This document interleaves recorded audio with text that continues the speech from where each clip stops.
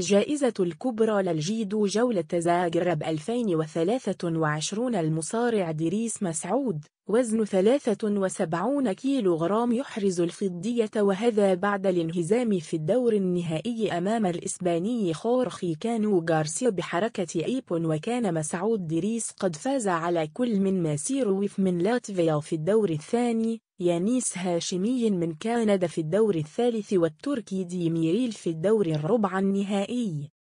وفي النصف النهائي فاز بحركة إيبون عالمية أمام الكوسوفي عقيل غجاكوفا وتعتبر هذه نتيجة ممتازة للمصارع الجزائري مسعود دريس التي من خلالها سيحصل على عدد وفير من النقاط في التصنيف الأولمبي.